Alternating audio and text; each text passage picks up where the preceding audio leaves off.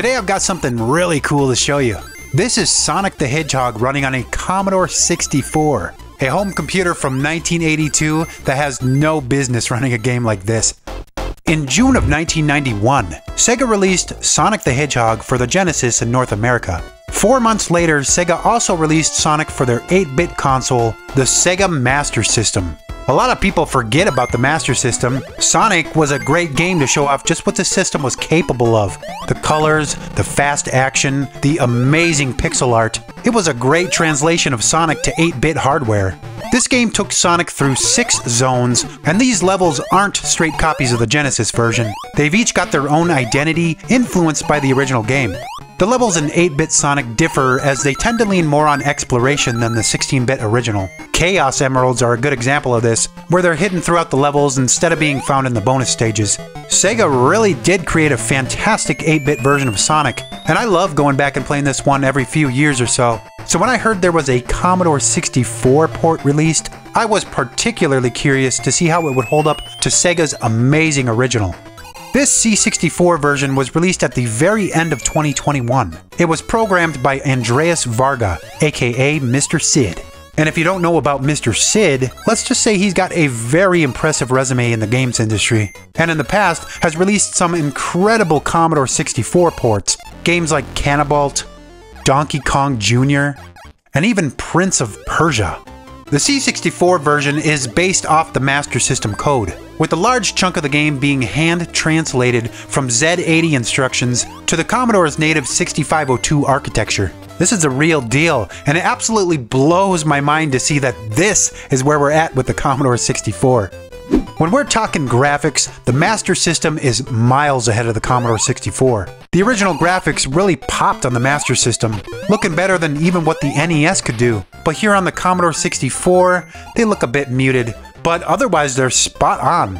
It's definitely lower resolution, but it has retained the little details from the original game. All of the scenery artwork, enemies, and even the underwater sections look good. I was surprised that even the graphically intense areas like in Skybase Zone have translated well to the C64. The graphics were brought over by Oliver Lindau, aka Veto, a very skilled pixel artist who, back in the 90s, was a professional game artist, but more recently has done graphics for various C64 demos, and even games too, like the more recent Donkey Kong Arcade. The 8-bit Sonic music on the Master System was rearranged and inspired by the original Genesis and Mega Drive version, and I thought it mixed well with the 8-bit visuals on the Master System. But here on the Commodore 64, this is awesome. This music was brought over to the legendary SID chip by Mikkel Hastrup, aka Encore, who's yet another very skilled individual who did the music for the retail C64 game Solus and the C64 conversion of Super Hexagon called Micro Hexagon. He's also worked with Mr. Sid in the past on his other C64 remakes like Canabalt and Donkey Kong Jr. This game's absolutely amazing, but before you run off to go grab your Commodore out the closet, I got some bad news for you. It will not run on just a stock C64. It actually requires an upgrade device called an REU, or RAM Expansion Unit. The REU has DMA capabilities which allow the screen to be updated faster than you could do on a stock C64, and it wouldn't be possible to have such a speedy game on the C64 without it. It's like giving your Commodore steroids. What's even worse about it is that the REU upgrade is a very rare and expensive device, and even required a special power supply. Now you could easily expand the RAM in an emulator, which is how I recommend you play it, or something like the C64 Mini. But if you want to play this on real hardware, it requires you to bring the RAM up to 256K as a minimum. But it's suggested to have 512K or more, as that will allow you to load the entire game into RAM and not have to worry about any loading while you're playing. I mean, it is kind of a bummer that you need all this stuff just to play the game. And some might not even consider this a real Commodore 64 game because of it. But this is a graphically intense game, so it's not going to be as compatible as, say, the C64 port of Super Mario, where you can run that one on just a stock C64 with a little slowdown. Personally, I think it's cool to see bigger games like this on the C64, and it's not the first game to require an REU. I wouldn't be too surprised if eventually we get to a point where modern REUs are common, and games will get bigger and better, especially with guys like Mr. Sid out there porting legendary game franchises Another interesting point of this port is that it will take advantage of upgrades, such as playing on the Commodore 128 in C64 mode, or even hardware upgrades like the Super CPU, which help the game keep a smooth 60 frames per second on NTSC Commodores, where that was actually one of the worst parts about the original Master System version. It had terrible slowdown, and at times it could really chug. In my experience, running Sonic on the C128 ran even better than the original Master System version. And this is how I've been showing you the gameplay in this video. This is set up here to be the most optimal performance and best visuals in my opinion. And here's exactly how to set this up for yourself. So first you need to download the Vice Commodore emulator and your Sonic disk images. If you can find a copy in the D81 disk image format, it's easier to manage because it combines both disk images into one file. So after you extract your emulator, you're going to navigate to the binary folder called bin. If you scroll down, you'll find all these different Commodore computer configuration executables. The one we're going to use for Sonic is called x128.exe for the Commodore 128. Then we go up to Preferences and down to Settings. Then go down to Machine and Model.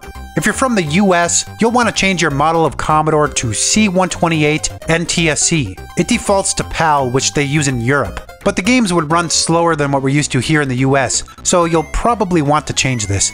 Next, go down and check the box under Miscellaneous to always switch to C64 mode on reset. Sonic is a C64 game, so you gotta run it in C64 mode for it to work. And this puts the computer into C64 mode every time it's reset. From there, you want to go over to the Cartridges section and down to RAM Expansion Module, and click Enable RAM Expansion Module Cartridge. And make sure the RAM size is set to 512K. Like I mentioned earlier, this will give you the option to load the entire game into memory, so you won't have to load anything later. Then you're all ready to go. You can drop your disk image on the window to boot up the game. The C128 will be in C64 mode. It should detect the C128 and give you the option to enable CPU acceleration. You can even hit Alt-W to enter warp mode and speed past the loading screens. There is one last change that I did to my game that's completely optional. In my opinion, the game by default looks a little squished. So if you want it like I have it here, you can go back into the settings and go to display and down to VIC2. Then go down to scaling and full screen and uncheck the keep aspect ratio box. This will cause it to stretch out the image a bit more. The title screen does look a little wide, but the actual game itself looks a lot closer to Master System Sonic. I also went ahead and turned off the CRT video filter.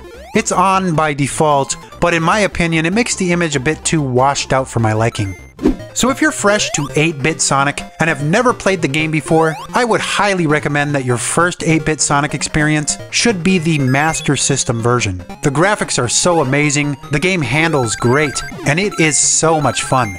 It's also not an overly difficult game. It's very approachable. Overall, it's a little on the easier side, where it's not so easy that it's boring, but you shouldn't have too much trouble playing through it and beating the game. It's about an hour long. I really recommend you check it out if you're looking for a Sonic game that's a little different than what we're used to seeing. Seems Sega keeps feeding us the 16-bit Sonic games over and over again, where this 8-bit version is a nice change of pace. It is kind of weird seeing Sonic in 8-bit, you know, especially after seeing him in 16-bit so often, it can be a bit jarring at first. But I promise you, it really does grow on you once you spend some time with it. But yeah, play the Master System version first, then play the C64 port. Quite honestly, the C64 port looks official. I've heard rumors that Sega had canceled a planned port to the Amiga and C64, so maybe in some alternate universe, this is what we would have gotten for the official release. It's absolutely insane to me that the C64 can keep up with the Master System like this. The speed is unreal, and the controls are perfect with the one button joysticks. I also really like the Sonic tunes on the SID chip here. They sound great. This is such an impressive port. I love it. If you're wondering about the legality of this game, Sega takes a much different approach to fan games than, say, Nintendo. Where Sega's own Sonic Community Manager has said that Sega usually has no issues with Sonic fan works, as long as no profit is involved. This is a free game, so yeah, there's absolutely no worries about playing this one. It's all in the clear. So yeah, I highly recommend you check this game out. I think it's fantastic. But let me know in the comments what you guys think about this one. If you enjoyed this video, make sure to leave a like on it so I know you're watching. It really helps out my little channel if you do that. And if you haven't already, make sure to hit that subscribe button. I make videos about odd and obscure retro gaming stuff just like this one. I hope you liked it. Thanks for your time today, guys. Goodbye.